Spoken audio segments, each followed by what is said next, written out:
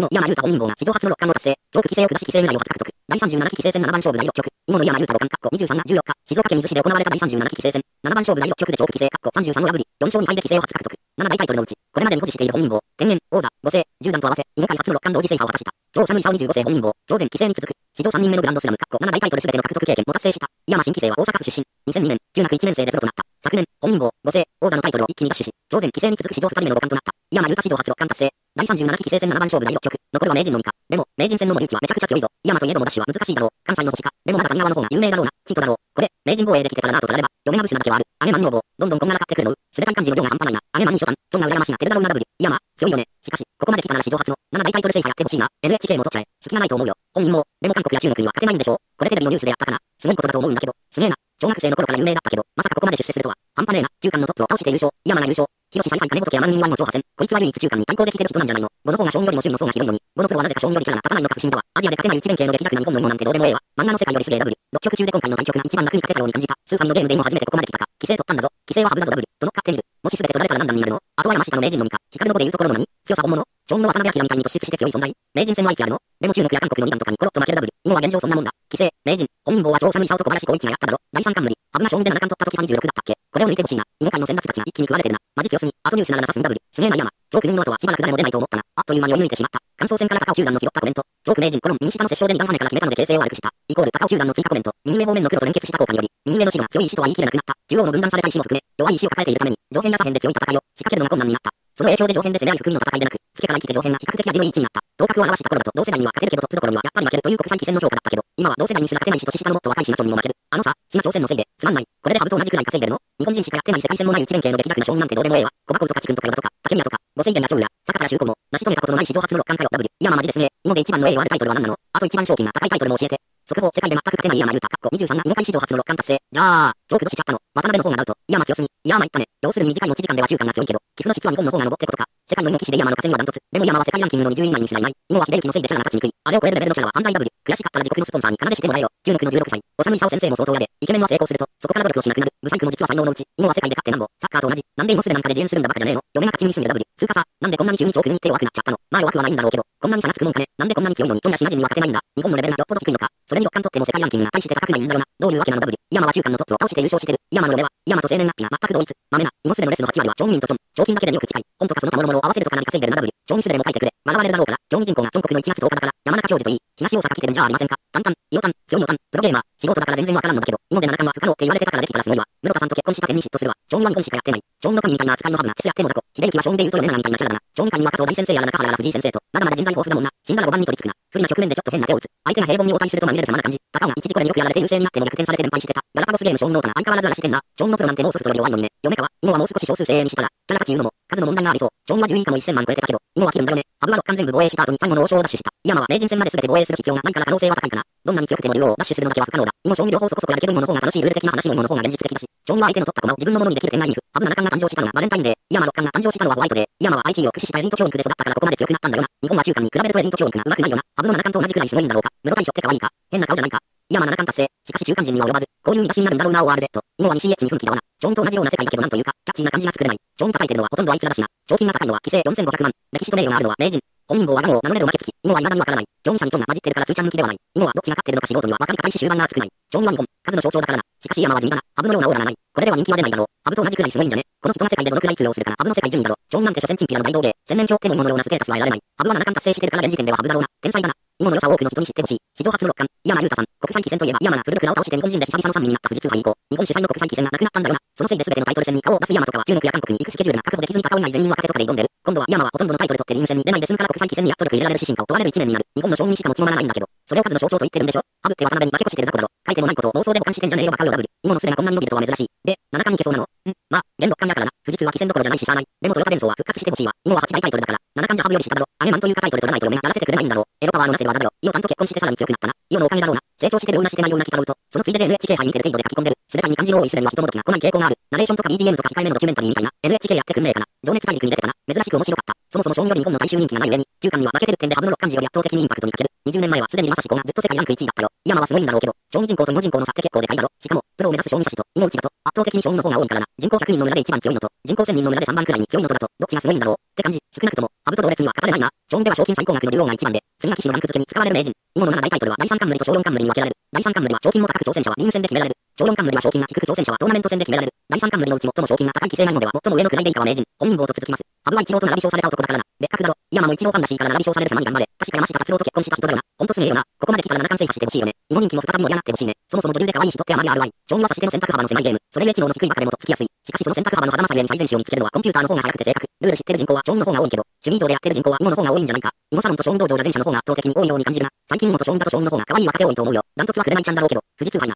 あれは国際棋戦だから全く毛並みが違うぞ。しかもすでに消滅してる。紅ちゃん、あのクオリティ保持したまま、健やかに成長してほしいわ。囲碁は5回所行かないと相手が見つからないだろ。しかもその5回所も着がいなくてやばいみたいよ。性格とか書いてるバカな偉そうにしてると笑えるなダブル。将棋より指士の選択が少ないチェスでもまだコンピューターが強いとは確実には言えないのに、中間と日本とは持ち時間の差も大きいんじゃね持ち時間5時間以上とか2日制とかの対局。それも番勝負だと山より強い中間棋士っているのか。将棋は競技人口は多いけどプロを目指す子供はもと大差ないだろ。大半はオセロと同じ感覚でやってるだけ。名人には挑戦できそうなの将棋は公園でおっさんがやってるのを見たことがあるな。囲碁はないな。逆逆。囲碁は、プロを目指す子供が圧倒的に少ない。ただ、どちらも社用業界だけどね。囲碁 VS 将棋語るなら、現在のトップランカーや藤沢秀幸や大山康晴ぐらいの、実績残して言わないと滑稽だよ。なぜか将棋オタにすで乗っ取られてる。囲碁オタ頑張れ。規制は将棋の竜王と同じでご有利な最高賞金に設定して、金の力で無理やりビッグタイトルにしてるだけだろが、名人本因坊に比べたら格闘歴史については悲惨なくらいしょぼ言っても、いや一応史上最強ソフトという触れ込みで、ニコ動画としても相手に全勝すると確信して出した企画なんだけど、テニスの西コリアサッカーの香川と同い年か、誰が一番稼ぐのかな。将棋の世界って気持ち悪いよな。日本人しかいない。内輪で寒いなれ合い。ファンは中高年ばかり。騎士はチェスでも一番取れるという幻想。これ以上閉鎖的な村って他のスポーツで存在する。相撲や囲碁ですら外国人がいるのに、4年7死ぬ前に負けたやつ。中国人騎士や東欧の女性騎士が日本に来てさしてるじゃん。中国人や来日は何度も奨励会に入ってプロを目指したけど、全く花形袋になれなかったのは現実なわけで、将棋の羽生さん以来の七冠なるか、